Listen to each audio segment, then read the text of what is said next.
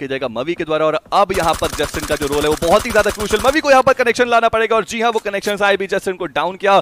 एक बढ़िया यहाँ पर स्प्रे हमें देखने को मिलता हुआ मूविंग ज़रूर नॉक करेंगे वहाँ पे आराम से, और खत्म भी मेरे ख्याल से कर सकते हैं आगे बढ़ने की कोशिश ग्लोबल बैकफुट पे। दोनों प्लेयर जो यहाँ पे होल्ड कर रहे थे ग्लोबल के, दोनों को नॉक करा जाता है मवी, और अल्ट्रोट के द्वारा मवी यहाँ पे नॉक कर दिए जाते हैं। अल्ट्रोट के पास रिस्पांसिबिलिटी काफ़ी ज़्यादा बन जाती है जोन का एडवांटेज तो है बट अगर यहाँ पे नेट आएगा जो मान्या के द्वारा करा ज़रूर जाता जैसे ही वो नीचे गिरा तुरंत फटा लेकिन मवी की अगर हम बात करें हाइट के एडवांटेज का पूरा फ़ायदा उठाते हुए एक खिलाड़ी को नॉक करके फिनिश करेंगे टीम तोल की अगर हम बात करें एकमात्र खिलाड़ी बचते हैं। And team Nigma Galaxy driving seat पे लेकिन ये क्या अल्ट्रॉन ऊपर से वो स्पॉट करेंगे निगमा गैलेक्सी को। ऑलरेडी पता है गनशॉट उनके पास आए होंगे कि ऊपर प्लेयर मौजूद है बट फिर भी वहाँ पर वो जो एंगल था उन्होंने वो चेक किया नहीं। अपोलो वो एक बात तो खिलाड़ी बचते हैं। Now it's the man with golden hand क्या वो कनेक्शन बनाएगा? जी बनाएगा ज़रूर। अपोलो वो भी डाउन हो जाएँगे।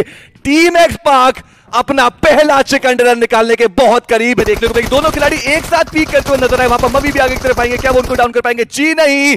Team X park will be taking this and उनका पहला विनर विनर चिकन डिनर हमें